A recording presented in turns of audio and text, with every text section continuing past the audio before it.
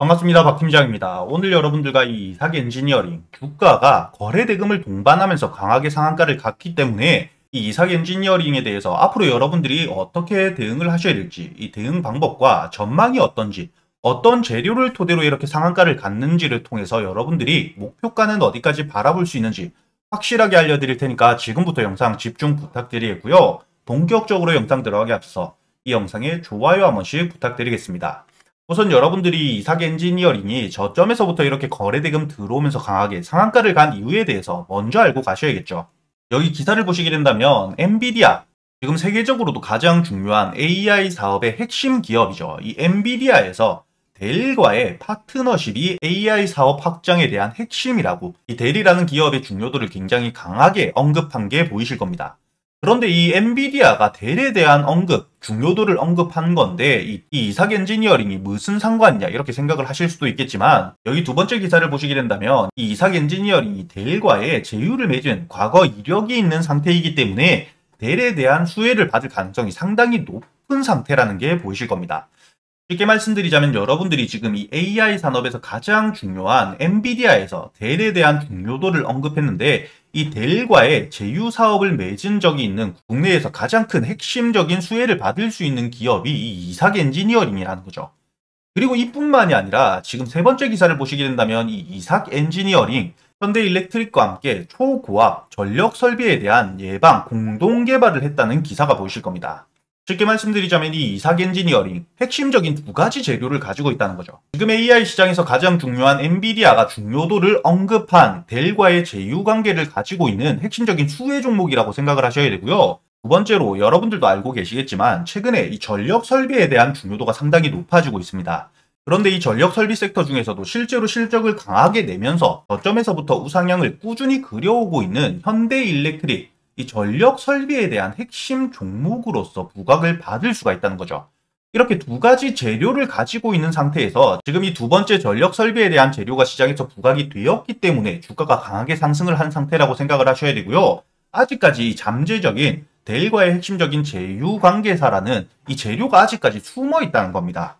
여러분들이 지금 차트를 보시게 된다면 이 현대 일렉트릭 저점에서부터 거래 대금이 들어오면서 주가가 반등을 하고 있는데 2030년도까지 지금 앞으로 6년까지의 전력 설비에 대한 공급이 미리 계약이 진행이 되고 있는 만큼 지금 공급이 수요를 따라가지 못할 만큼의 수요가 발생을 하고 있다는 거고요. 이 현대 일렉트릭과 핵심적인 제휴 관계사인 이삭 엔지니어링이 지금 시장의 부각을 받으면서 주가가 강하게 상승을 하고 있다는 거죠.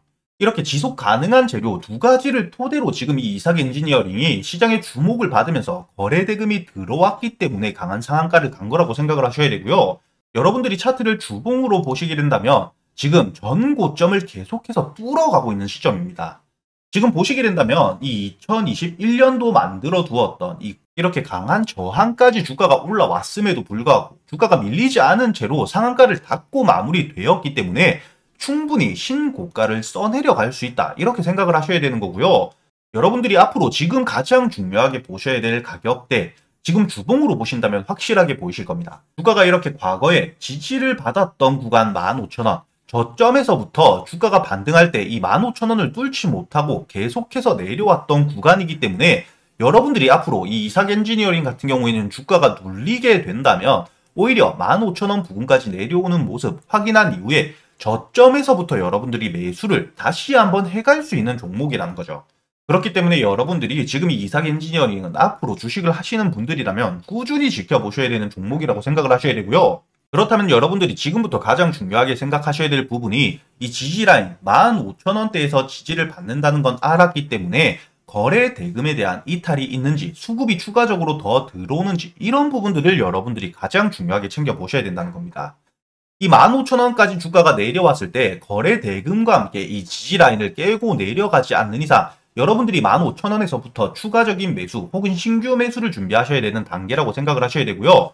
거래 대금에 대해서 이탈이 나오지 않는 동안에는 충분히 홀딩 유지하면서 신고가를 노려가셔야 되는 종목이라는 겁니다. 하지만 여러분들이 매일같이 이 거래 대금뿐만 아니라 이삭 엔지니어링 새로운 재료들이 나오는 부분들 매일같이 챙겨보기 어려우실 거기 때문에 제가 이 유튜브 라이브 방송 누구나 들어올 수 있는 유튜브 라이브 방송에서 8시 반부터 여러분들과 소통을 하면서 대응 도와드리고 있으니까 혼자서 걱정하실 필요도 절대 없다는 거죠. 이번 7월까지 핵심적인 이 이삭 엔지니어링 개별 재료들에 대해서 제가 모두 정리해 두었기 때문에 지금 혼자서 대응이 어려우신 분들 상단에 보이시는 제 번호로 이삭 엔지니어링이라고 적어서 문자 보내주시면 제가 이 유튜브 라이브 링크와 함께 7월까지 일정들 모두 정리되어 있는 보고서도 함께 보내드릴 겁니다. 여러분들이 일정들을 미리 알아두시고 실시간 대응을 유튜브 방송에서 함께 하실 수가 있다는 거고요. 제가 여러분들에게 이 유튜브 라이브 방송에서 단타 종목들과 스윙 종목들 여러분들에게 100% 무료로 알려드리고 있죠. 이 이삭 엔지니어링 같은 경우에는 최근에 바로 이번 주에 13,000원대에서 매수를 했던 종목이기 때문에 최소한 이 거래 대금들에 대한 이탈이 나올 때까지 신고가를 만들어가는 동안 제가 여러분들에게 확실히 책임지고 이 대응을 도와드릴 거기 때문에 여러분들이 혼자서 걱정하실 필요가 절대 없다는 겁니다.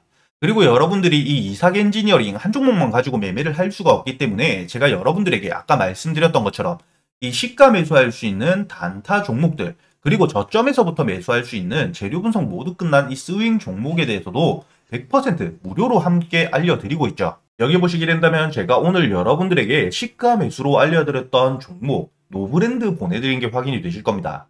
제가 지금 문자 발송 결과 들어와서 보여드리고 있기 때문에 박영재 제 이름이 등록되어 있는 게 확인이 되실 거고요. 상단에 보이시는 제 번호로 제가 여러분들에게 문자를 보내드린 것도 확인이 되실 겁니다. 그리고 지금 문자 발송 시간 보시게 된다면 5월 24일 오늘자 장전인 8시 40분에 제가 문자 주셨던 284분 한 분도 빠짐없이 모두 보내드린 게 확인이 되시죠.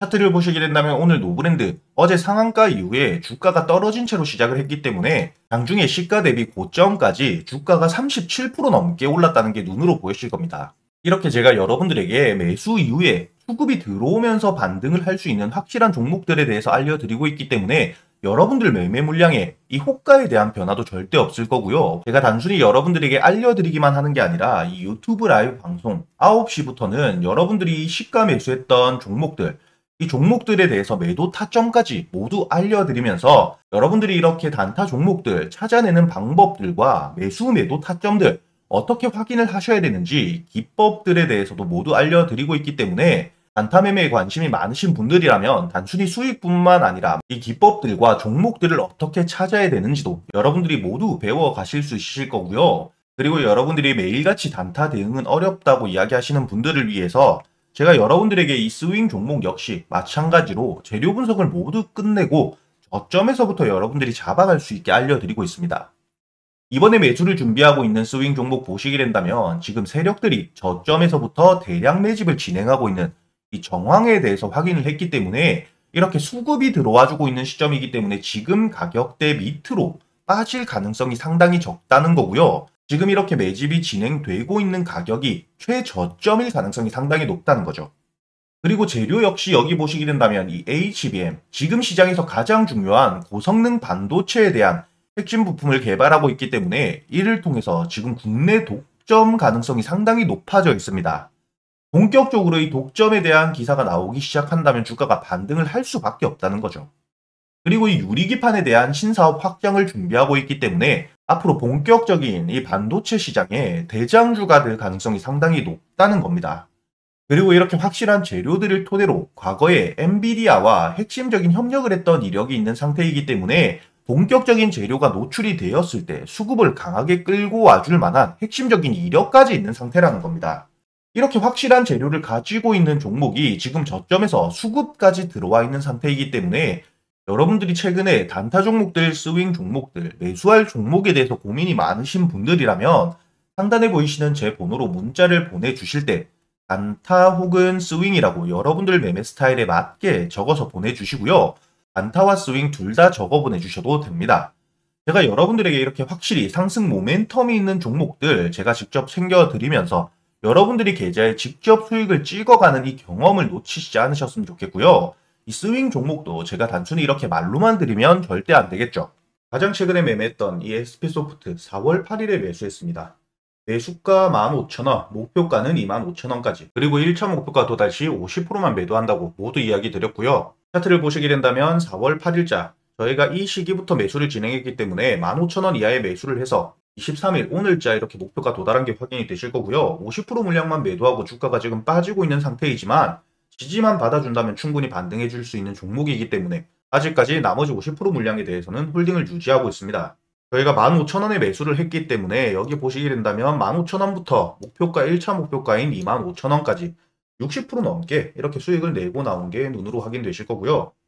그리고 3월 26일에 LS 일렉트릭 95,000원 이하의 매수해서 목표가 15만원까지 마찬가지로 1차 목표가 또다시 50%만 매도한 게 확인이 되실 겁니다. 차트로 확인을 해보시더라도 저희가 이렇게 3월 26일 이 시점에 95,000원 이하의 매수를 했기 때문에 여러분들이 여유있게 매수를 해가지고 1차 목표가였던 15만원 도달 이후에 50% 물량은 아직도 마찬가지로 유지하면서 추가적인 수익 이렇게 챙겨가고 있는 거죠.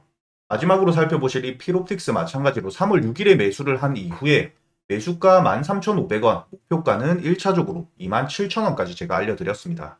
피롭틱스도 지금 보시게 된다면 13,500원 이하에 충분히 여러분들이 여유있게 매수를 할 수 있었다는 게 확인이 되실 거고요.